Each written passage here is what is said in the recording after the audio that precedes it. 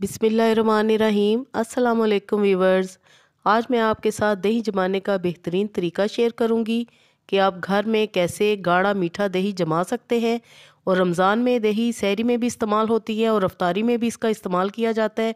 मुख्तलिफ़ डिशेस बनती हैं। दही जमाने के लिए मैंने लिया है वन लीटर दूध। दूध सबसे पहले हम बॉयल करेंगे। दूध का अच्छा होना, यानी कि गाढ़ा होना बहुत ज़रूरी है।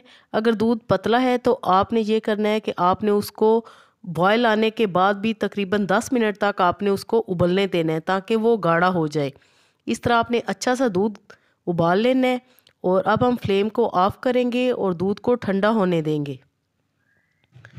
दूध मैंने एक बाउल में निकाल लिया है और मैं इसको थोड़ा सा बीट करूँगी, फेंटूँगी इस तरह पौए के साथ।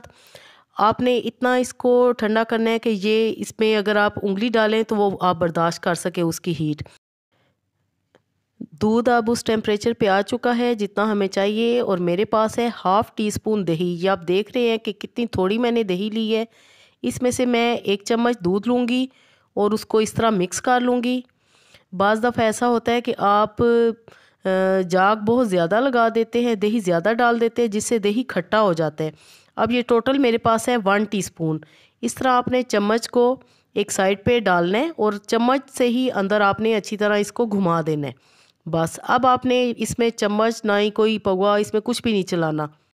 और मैं इसको कवर अप करके रख दूँगी तीन से चार घंटे के लिए, क्योंकि अब मौसम गर्म हो चुका है, गर्मियाँ आ चुकी हैं और किचन में ही मैं इसको रख दूँगी।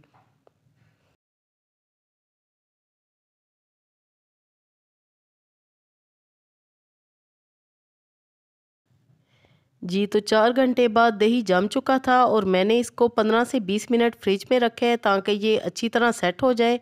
और अब आप ये देख रहे हैं कि ये जैसे कर्ड की शक्ल इख्तियार कर चुका है, बिल्कुल इसमें पानी नहीं है और ये कितना थिक और भलाई वाला दही है, ये आप आसानी से देख सकते हैं।